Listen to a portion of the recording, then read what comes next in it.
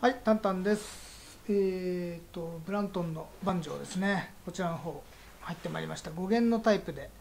まあのモデルチェンジして今、BB の15の R というタイプですね。普通レギュラーの5弦バンジョー。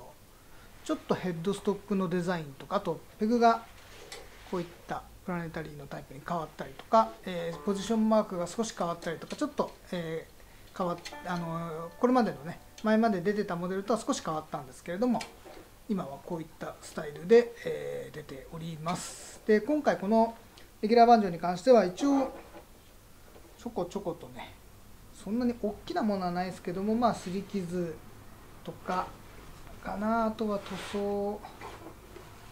ヘッドの裏の塗装が少し色が取れてるとかまあそんな感じで一応ちょい傷特化と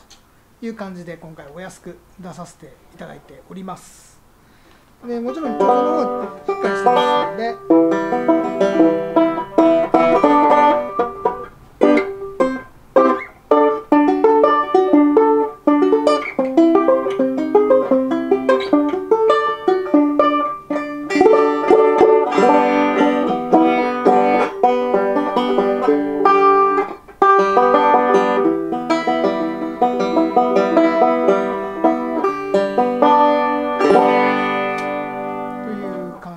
で、えーまあ、トーニングとかはねついてない非常にシンプルなタイプになってますんで音とかはね少しこう柔らかめというかそういう雰囲気にはなってますけれども、まあ、あの練習用には十分使える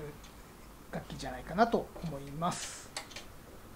あとトーンリングここについてないので楽器自体はこういったバンジョーリゾネーターバンジョーのね、えーレギュラータイプにとしては非常に楽器も軽いんで、まあ、そのあたりもこう練習にはいいのかなという感じです。こんな雰囲気ですね。はい。じゃあこちらも今回、えー特化ということで、え1本出させていただいておりますので、えーぜひねお問い合わせの方お待ちしております。こちら、えーブラントンの BB15R、えーですね。はい。こちらの方、お問い合わせの方お待ちしております。それではタンタンでした。